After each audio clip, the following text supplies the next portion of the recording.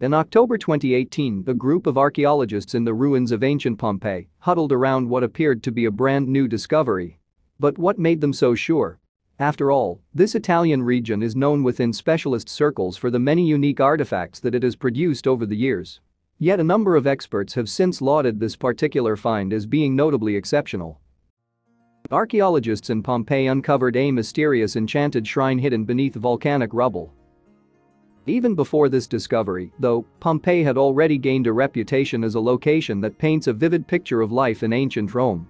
Over the decades, of course, numerous artifacts have been excavated from the site, not to mention sets of perfectly preserved human remains. And instances of graffiti have also served to illustrate the everyday language once spoken by the city's inhabitants. Moreover, the sheer wealth of discoveries that have come out of the ruins of Pompeii have been internationally recognized, since 1997, in fact, the area has been designated as a UNESCO World Heritage Site. The site itself remains incredibly popular too, attracting some 2.5 million curious visitors annually.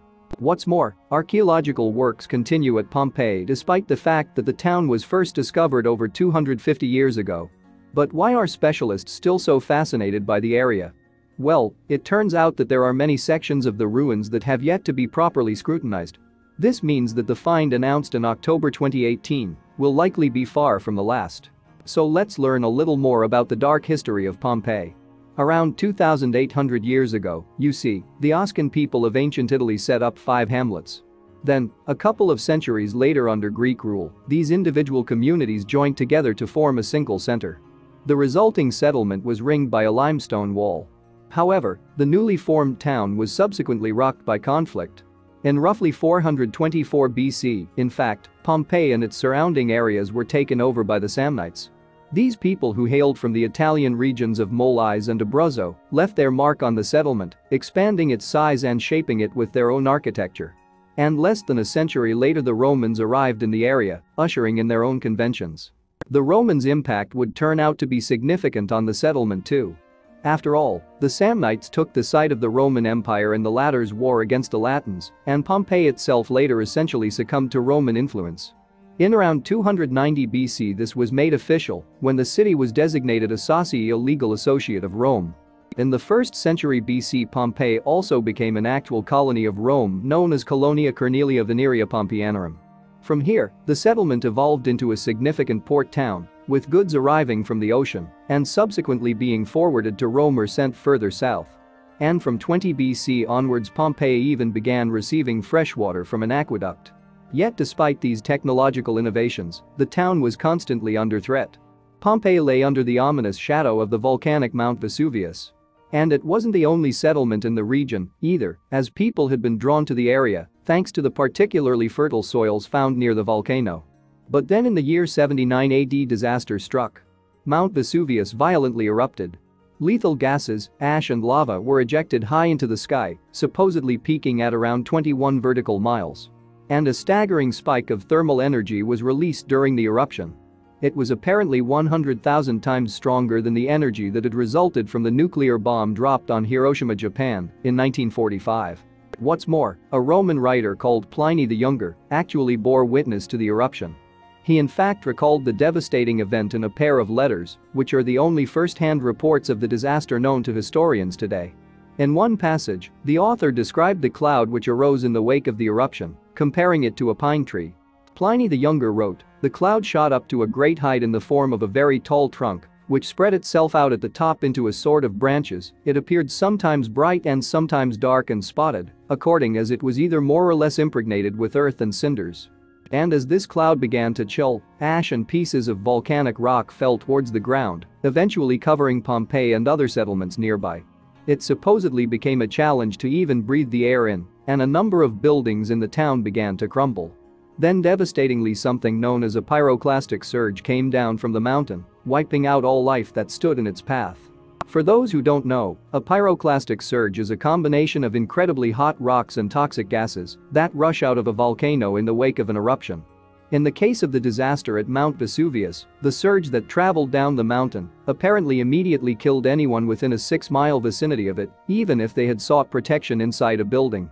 And by the end of the surge, Pompeii was completely enveloped in volcanic material.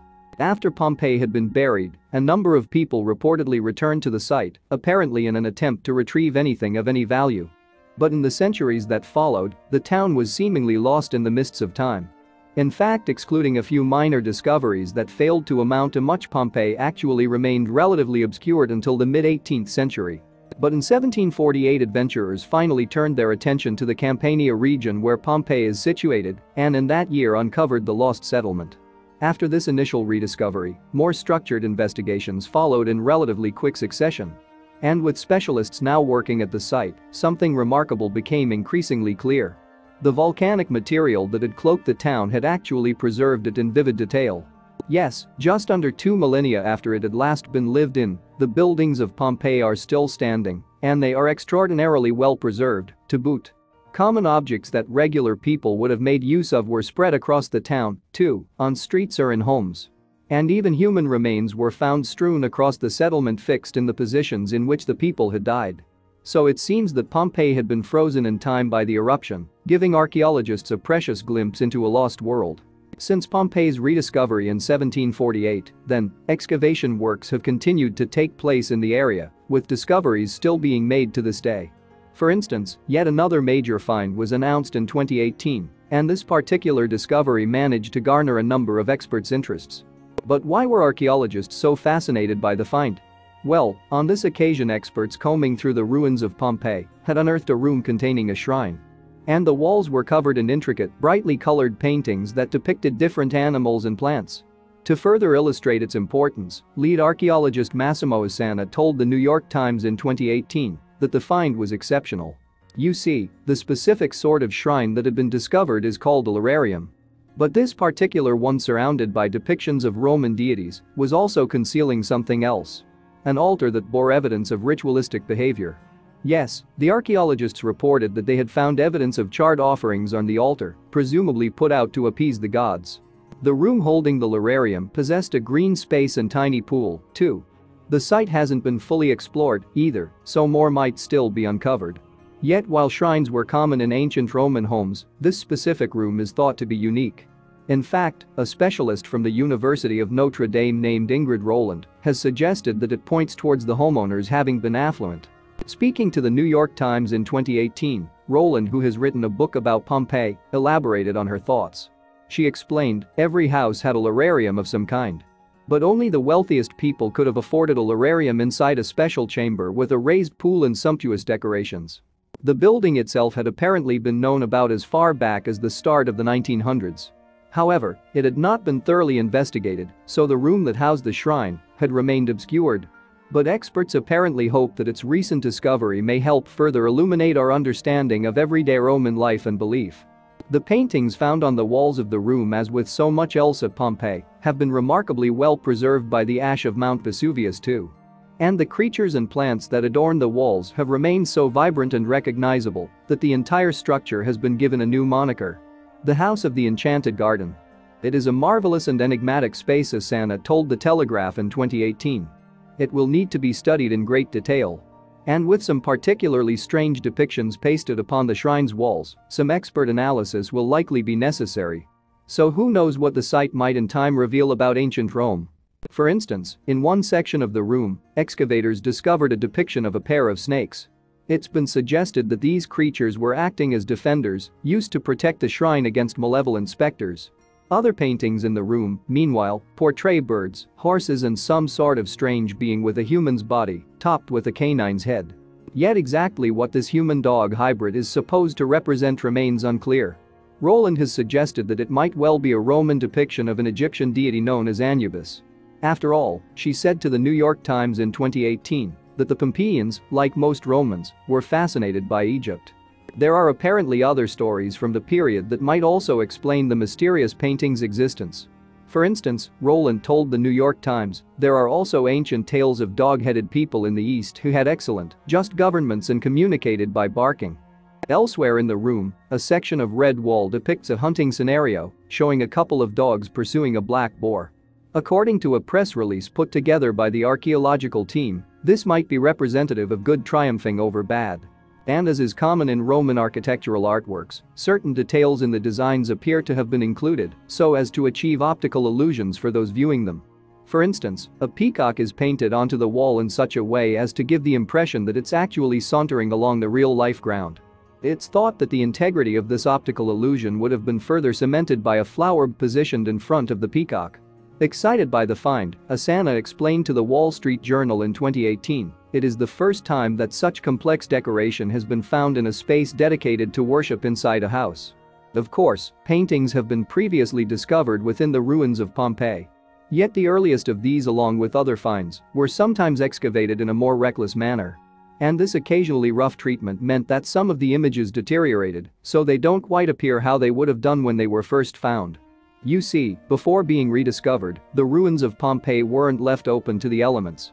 Following excavation, though, the town's buildings and a number of their precious artworks have been exposed to bad weather and light exposure. And that's not the only threat these priceless artifacts have faced. Sabotage and larceny have also been reported.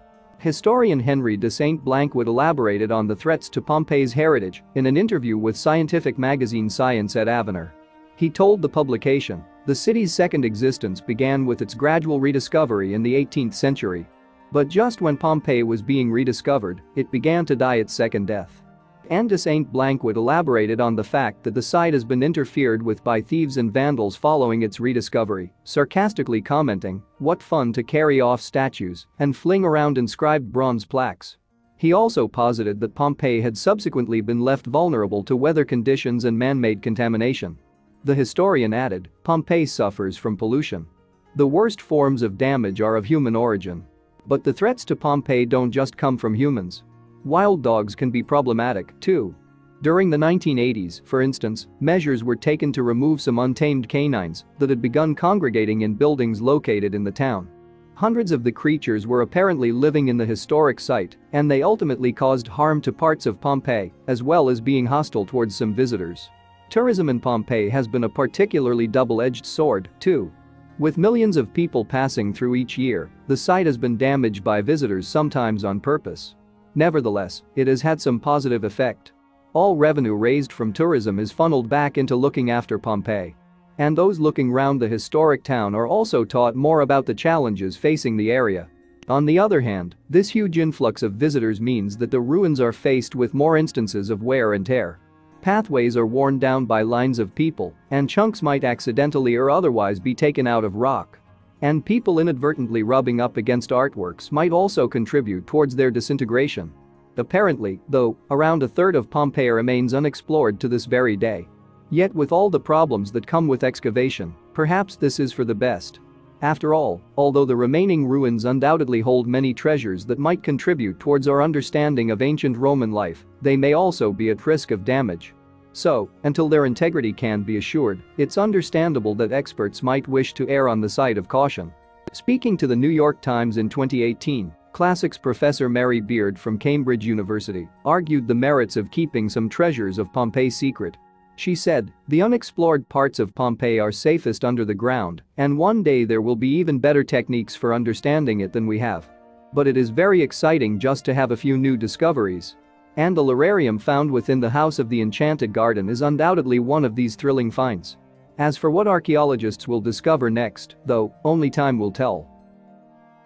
Thanks for watching, and don't forget to like and subscribe.